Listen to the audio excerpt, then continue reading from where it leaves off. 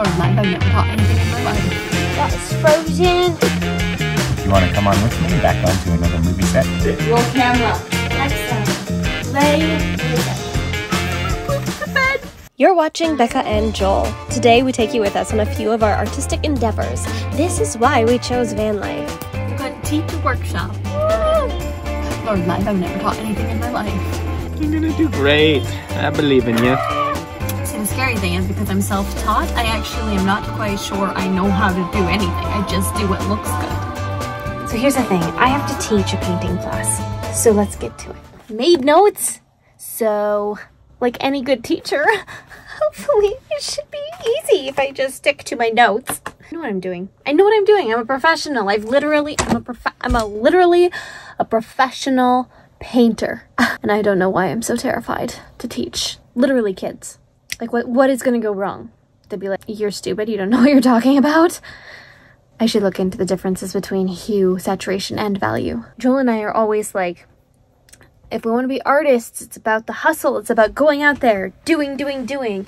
It's about taking every opportunity. Every once in a while, I say yes to an opportunity and then I realize I have to follow through. That's when I start to panic.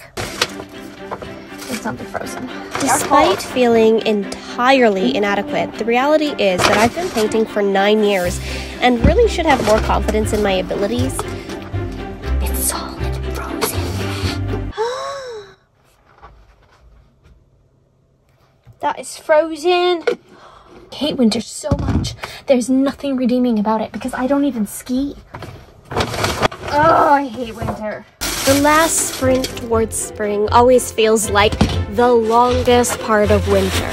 Luckily, spring really is just around the corner.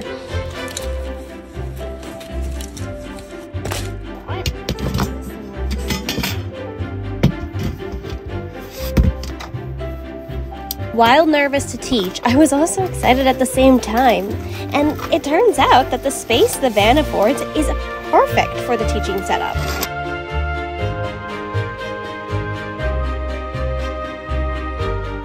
Hey, baby, nice setup.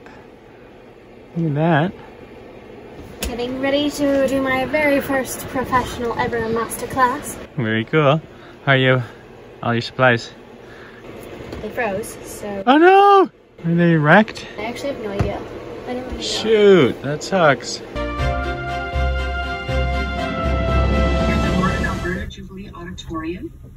And we want to start off with acknowledging the traditional land on which we reside in Alberta. when people are starting out and wanting to get into painting, the very first thing they'll do is they'll go off to an art store and they'll buy one of those big, huge painting sets and it's got like four, seven, eight different colors and you go, where do I even begin? So let's make that very simple. First and foremost, you only need the three primary colors. That's red, blue, and yellow. So let's get into it. I've got my white canvas right here. We're just gonna brush some of that white into the brush. And then what I'm gonna do is get paint on there. So we're gonna put that right in the center of the canvas. So we're gonna dip that into the yellow here, and then we're going to put the yellow where you see it on the reference. So I'm gonna go a nice long brush all the way across. And then we'll kind of just keep brushing it a little bit upwards. And as you can see, it ombres that yellow, and the yellow kind of fades out. All right, so I've got a bit of that blue mixed in with the white. And we're gonna go at the top here now. It's a little bit dry up there. That's all right. I kind of like that. It's got a cool texture to it. And as we move down, we're gonna move back into that white. And as you can see, we've got the blue down to the yellow ombre effect that's kind of in the photo there. After not having painted for about two months, I'm kind of happy that the zoom camera is maybe not like super high defined. That's what I did.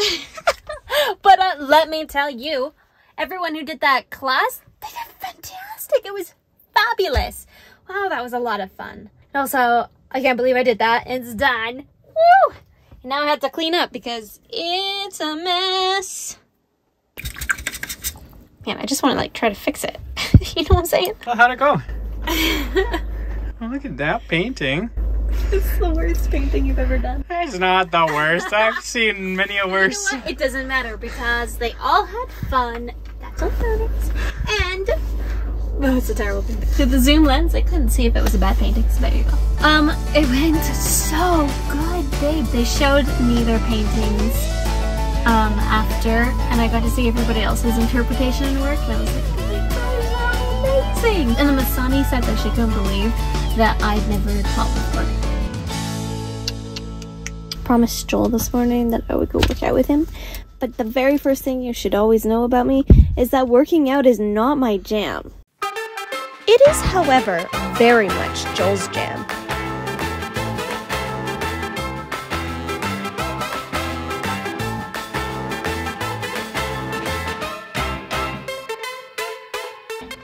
The battle of working out is just arriving here, then what I can tell you is I made it. Okay.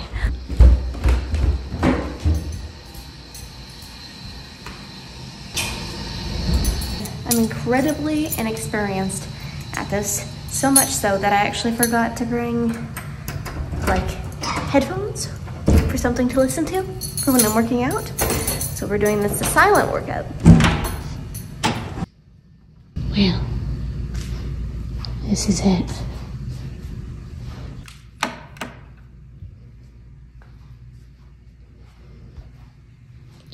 I haven't seen a mirror in days. Oh my gosh, that's what I look like. By the way, this is way harder than it looks, by the way. Oh, you can go backwards. Well, that's a different workout. Your life just like you're young again. No, don't you cry. Just get back up again. Cause you wanna live, then live it.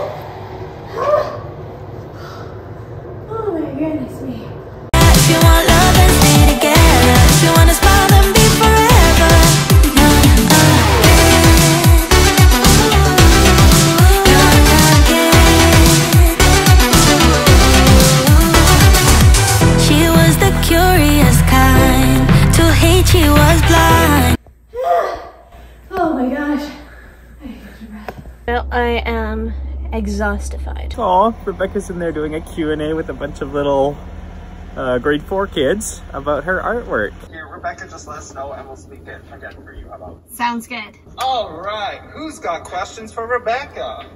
That's a hard question. I'm probably not okay. I think that is the painting that right now, whenever I look at it, I'm like, oh yeah, I really love that painting. She's so cute, talking with all those little kids about art. Oh, this fills my heart with so much joy. Like after talking to the school group, I realized I actually do know my stuff. Like I actually do know art. Like I'm not like a newbie at this. Like I have answers to questions that were That's relatively awesome. hard ones. Yeah, that's awesome. Do you want to come on with me back onto another movie set? Follow me. No, we just make sure we version of that over the shoulder story. Yeah. Beautiful, handsome face. Uh, let's do it again. I'll maybe I'll side coach it a little bit. Okay. Yeah. From there, Mike. So, Lorenzo McTavish? And even just say like we, what you could do with good money is like you tell him that it's good money. Like you know it's good money. Good money. Yeah. Right. We're gonna shift gears to scene 12, which Okay. is just you in the bed settling in.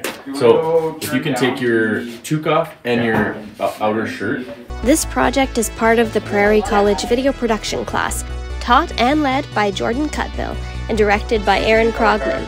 The lead star actor is none other than Mike Thiessen, a stellar human whose humor is impeccable. To all the Prairie students who worked on this project, let me just say, you all killed it. I cannot see him.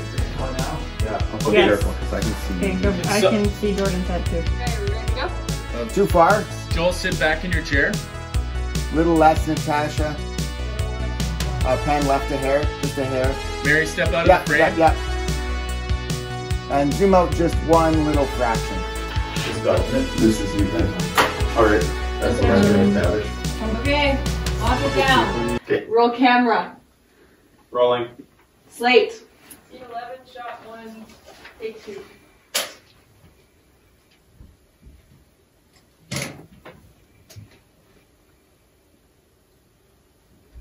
There's the boom. There's the boom. There's the boom. There it is. Action.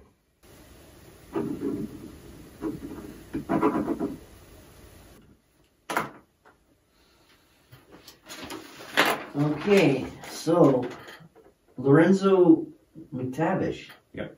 What's my name? What's my name? What's my name? What's my name? For one scene in every movie, you'll have up to four different shots of the same scene, taken from different angles. So remembering what you did in the last shot is crucial for continuity. How are you feeling about today, Mike? It's been good. That's what we did last a little more tired. I think it's just because it's Yeah. last day kind of energy. Last day. The show's I mean, called I To know- Sleep yeah. Perchance to Dream. Yeah, I'm ready to sleep. I think that name, we're starting to do a bit of method acting here. Yeah, that's all it is. I mean, I'm not. I'm, I'm full of life.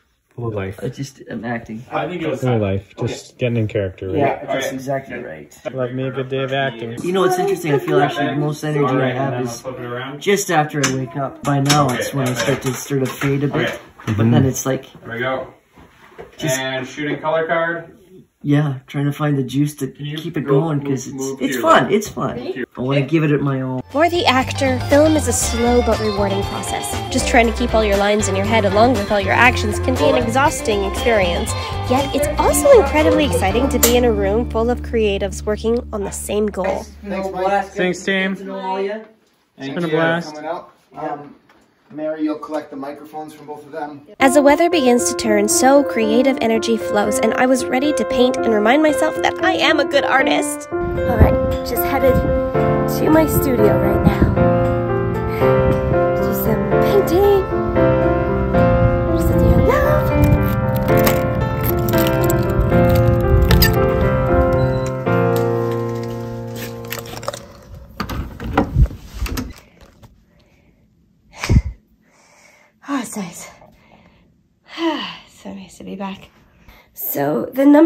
Sorry, just getting over a cold. So, the number one thing that I always say when you are going to paint something, or if you're to do any art at all, is set it up like it is a fun, playful space. Alexa, play music. Here's a station you might like. James Taylor on Amazon Music.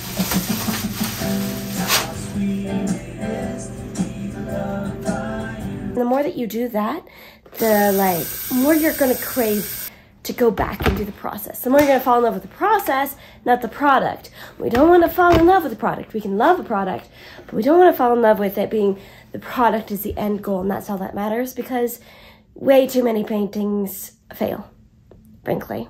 The reason you want to paint isn't because you're an amazing artist and you're going to make a masterpiece. The reason you want to paint is because you just love doing it. So, the number one thing I always do, I make myself a cup of tea. Sometimes when life gets super busy, it's really important for me to just sit back, relax, and paint.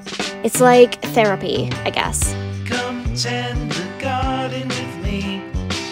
We have so many seeds to sow. When the harvest comes in, it will be time to share what we have grown. Started. Everything was groovy, but I'm noticing lately we've been half-hearted. West Side Story don't feel pretty anymore.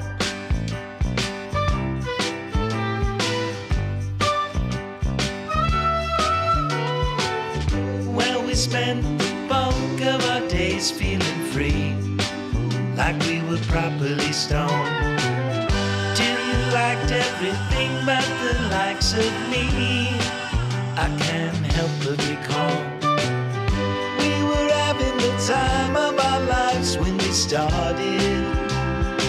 Everything was groovy,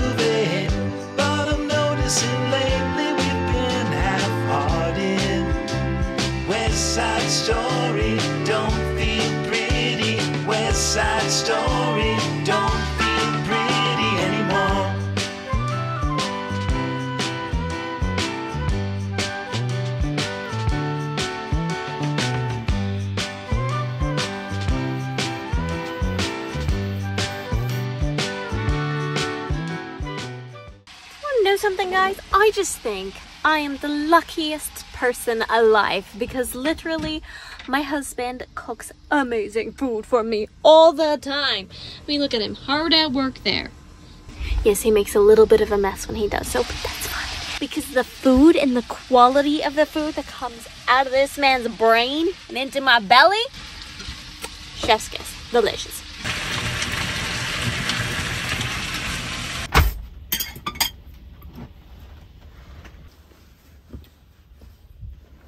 Oh! Why are you putting it on the bed? Film it!